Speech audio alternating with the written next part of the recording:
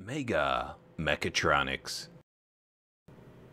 In this video, we're going to take a closer look at these Power Wheels mods, including the servo actuator, the servo potentiometer, throttle mods, battery mounts, and uh, some motor heat sinks.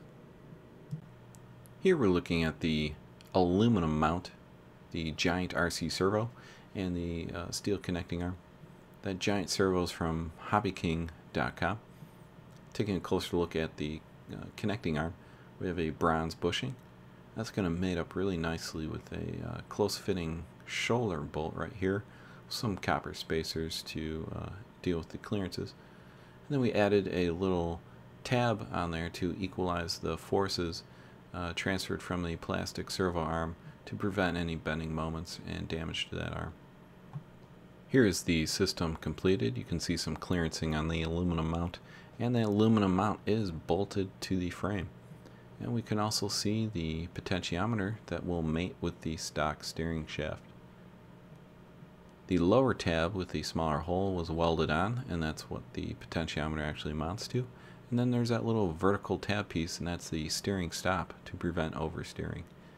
And there's a steel tube uh, inserted into the steering shaft to act as a universal joint uh, to connect to the potentiometer and that little tab sticking off to the side. You can see how that will interfere with that steering stop going in either direction. And we can see the potentiometer uh, attached to the system complete right here.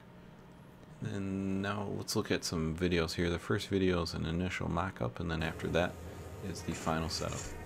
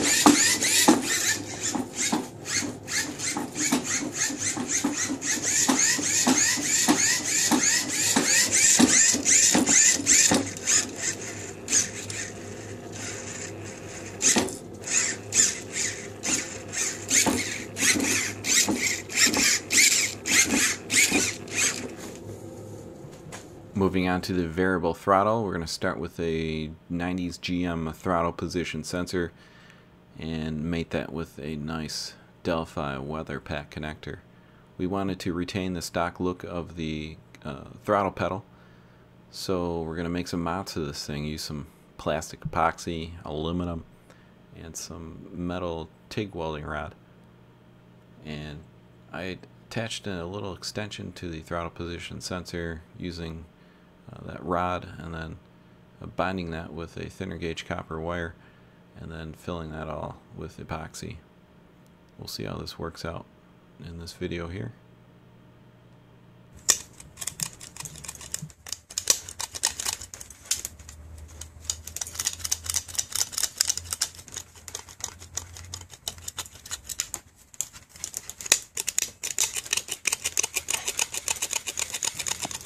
Now we're looking at the two 12 volt SLA AGM batteries for a total of 24 volts and we attach those to the frame by welding a couple uh, angle iron tabs uh, to the frame and then strap the batteries down with some heavy duty stainless steel bands.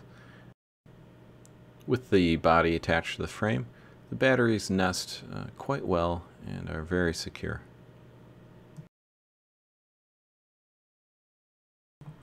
And finally our heatsink mods here. I'm using some quarter inch thick walled aluminum tubing with a full slot cut through one side to allow the power wires, the motor power wires to slide through. And then some more vertical slots cut in there to increase the surface area. I use some thermal compound in between the motor and the heatsink to increase the thermal conductivity. Thanks for watching this video.